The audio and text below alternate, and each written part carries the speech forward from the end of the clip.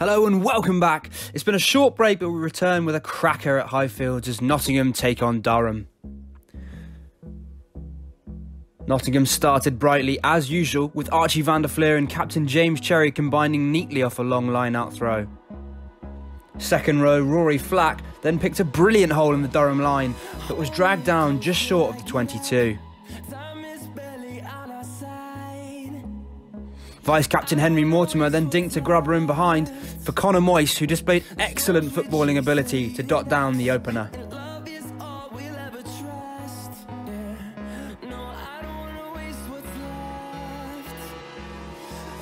But Durham's pack quickly went to work off the line out, with Joshua Chinyemba eventually rumbling over.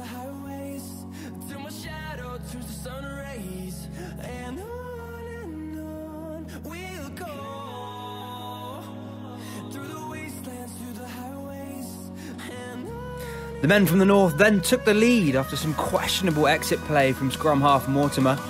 His box kick was claimed well by Paul Brown before some lovely hands worked the ball out to Ollie Walker, who showed great speed to make it 12 7 to Durham.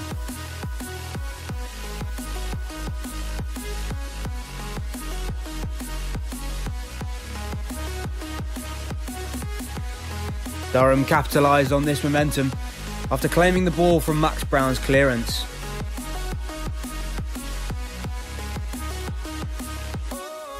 Some more neat hands from Durham brought the dangerous Paul Brown into the game before lock Curran Maguire spotted a hole and finished well.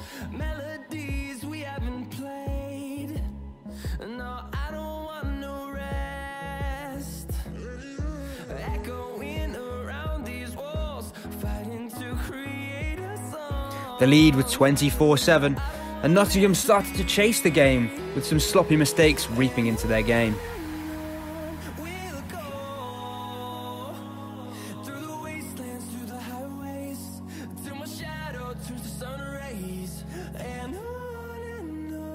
Charlie Coe then showed some bite as he bounced Max Brown to the floor before a stunning bit of individual work from scrum half Max Pepper set up Marcus Rhodes for an easy score.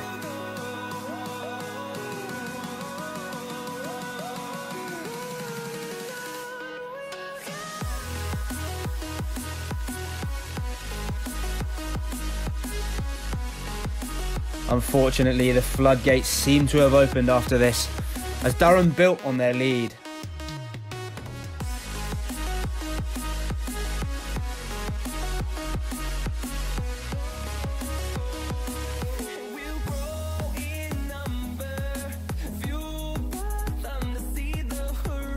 Flanker Willard broke down the right hand side with Paul Brown on his shoulder.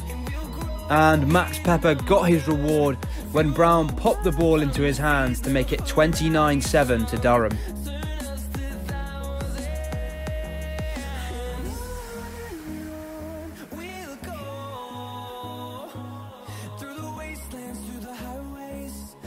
Ed Timpson did claim a consolation for Notts when he bundled over from close range, but ultimately it proved to be futile. A tough loss for Nottingham, who will now turn their sights on mid table Cardiff Met next week.